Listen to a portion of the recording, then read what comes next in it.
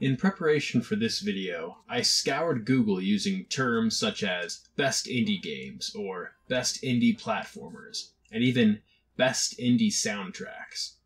I was expecting to see massive lists of indie games that would include at least some mention of Frozenbyte's Trine series, but it just wasn't to be.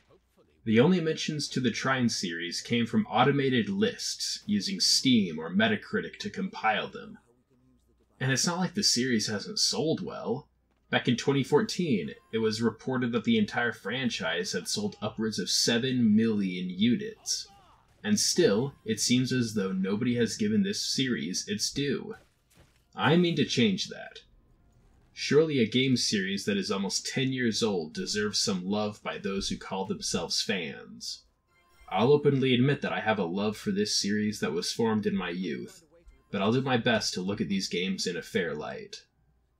Back in 2009, the indie gaming scene was still establishing itself as a legitimate force in the gaming world. Both Braid and Spelunky had released the year before, and Super Meat Boy wouldn't release until 2010. Thus, Trine could be considered one of the key titles that helped to lay the foundations of the modern indie gaming industry. Trine wasn't Frozenbyte's first game, though. That honor belongs to Shadowgrounds, a sci fi top down shooter released four years prior. However, Trine and its fictional universe are clearly what they're known for now. Between three mainline releases, an upcoming fourth game, and a spin off title, the fantasy story started in 2009 has blossomed into one of the most varied and vibrant fictional worlds I've ever had the pleasure to experience. When speaking of fantasy settings, the Elder Scrolls series, specifically Morrowind, Oblivion, and Skyrim, are often brought up to compare generic fantasy settings with those that have a sense of identity. Oblivion is often criticized for being overly generic with its distinctly Western European landscapes and architecture. Conversely, many praise the alien nature of Morrowind's setting, with its giant mushrooms, strange architecture, and unfamiliar creatures. Skyrim's distinct Scandinavian influences are similarly lauded. Trine's setting, at first glance, appears to fall squarely in the realm of generic fantasy. In fact, it seems to fall a little too squarely into the realm of generic fantasy. Almost any trope that can be found in fantasy settings is present and accounted for in Trine's world and characters. It's almost as if the game's creators had a massive checklist of what a fantasy world should have, and methodically checked off each item as it was added to the game. In doing so, they didn't create yet another generic fantasy video game world. They created the generic fantasy video game world. And this overly generic world ends up being so generic that it goes full circle, creating a fantasy setting that is truly unique, purely by its nature of not being unique at all. What this means for the world of Trine is that it immediately feels recognizable, without seeming derivative of anything in particular, because its foundation is derivative of everything. But Trine's influences extend beyond traditional high fantasy. First and foremost, Trine's world is influenced by the light-hearted kind of fantasy that is often found in children's picture books. I'll refer to these sorts of light-hearted fantasies as fairy tales, and Trine seems to pay homage to them first and foremost, with high fantasy trappings used when necessary to help fill out the world. From the Dr. Seuss esque telescope from the game's tutorial, to Pontius the Knight's entire character, to the giant glowing mushrooms, all the way to the narrator's voice. All these things show that Trine is a fairy tale first and a fantasy second. If I had to compare Trine's world to a more recognizable one, I'd pick Disney's Tangled. I love Tangled for many of the same reasons I love Trine. Its general atmosphere is just so warm and inviting, even when night falls, and it feels like anything could be lurking in the shadows, just outside the reach of a small campfire. As more and more games in the series have been released, the fantasy aspects of the Trine universe have gained weight. But the fairy tale core is still the basis for the world, and continues to be one of the defining traits that makes Trine such a uniquely generic series. The success with which Trine is able to pull off this setting is due in large part to the game's competent gameplay. By that, I mean that the actual moment to moment gameplay of Trine is perfectly playable, with responsive controls that feel right. However, the gameplay hasn't been polished to the mirror like sheen that other platformers, such as Donkey Kong Country Tropical Freeze, have managed to attain. Trine feels good to play, but it doesn't feel incredible. All things considered, like the budget, schedule, and size of the development team, I think that it is a miracle that Trine plays as well as it does. This competent control stems largely from the solid movement and jumping, a trait that is identical between all three playable characters. In the original game, the only basic movement option that isn't identical between the three is swimming, with Amadeus and Zoya being able to swim freely, and Pontius sinking like a rock in water. This makes sense from a world building standpoint, but was abandoned later in the series. The thing that really sets Trine apart from other platformers comes in the form of Zoya's grappling hook and Amadeus's magical ability to levitate objects and conjure magical boxes and planks. Grappling hooks are one of the most fun items in video games. From The Legend of Zelda's hookshot to Batman's grappling gun, a well executed grappling hook can be an incredible source of fun gameplay. Zoya's grappling hook is one of the best in gaming. Period. It's useful throughout the entire game and allows for skillful players to bypass many of the game's obstacles. In fact, Zoya's grappling hook is so good that she's almost always the go to option for most of the game for single player. Using a simple move, Zoya can grapple onto the top of any platform she can connect to. In fact, I'd say that Zoya's grappling hook is slightly overpowered, but it's just so much fun to use that I can't imagine anyone complaining except maybe during co op play, since she's very likely to speed past many of the obstacles that actually pose a challenge to the other two players. But don't think that Zoya can solo the entire game. While she can get past most of the game's platforming challenges on her own, the ones she can't rely on Amadeus's magical abilities. In Trine, Amadeus can levitate any object that isn't nailed down and can conjure magical boxes and planks. Both abilities, conjuring and levitating, are essential to overcoming many of the game's platforming challenges and usually end up being fun to use. Sometimes they can feel a bit tedious, but for the most part, it's a great part of the game. During co op, these abilities become even more applicable, since when a single player is stuck with Amadeus, these abilities end up having some legitimate combat potential, since enemies take damage from falling objects. Speaking of combat, Trine has a multitude of enemies to defeat throughout its campaign. However, basically all of them are skeletons. There are a few different configurations of skeletons, but even those start to feel samey by the end of the game. This lack of enemy variety would be addressed in later games, but in the original Trine, to say that combat encounters became repetitive would be a gross understatement. The enemies on their own wouldn't be much of an issue, since most combat encounters can actually be skipped by running past them. What prevents skipping combat, at least during an initial playthrough, is that some enemies drop experience points, meaning that if you want to collect as much experience as you can, you need to kill every enemy you see. That wouldn't be so bad on its own, but Trine often has combat encounters with upwards of five waves of enemies spawning in, meaning that you'll often be spending up to four minutes fighting respawning skeletons. By all accounts, combat is the weakest aspect of Trine's gameplay. One of the best parts of Trine is its soundtrack. This soundtrack is filled to the brim with incredible songs by Ari Pulkkinen.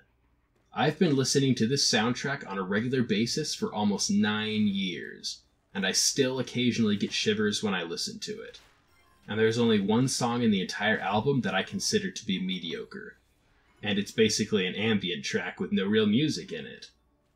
Some of my favorite tracks include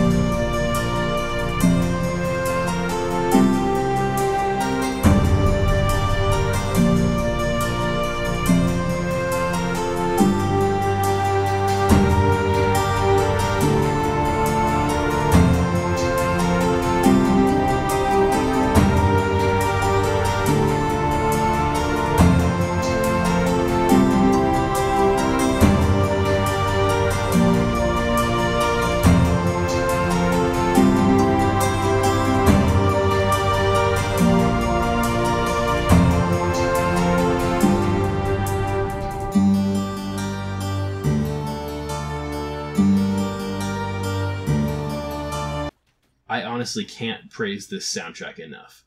Of all the things that go into making Trine what it is, I think its soundtrack must be its keystone. Without it, the entire experience falls apart. And the tragic thing is that history probably won't remember Ari Pulkkinen for this game's music. If anything, he'll be remembered for writing the music to Angry Birds. I've gone on to listen to basically everything else that Ari Pulkkinen has written, and while he has still managed to write some incredible music, with some songs being better than his work in Trine, none of his albums have come close to Trine's in terms of the number of great tracks.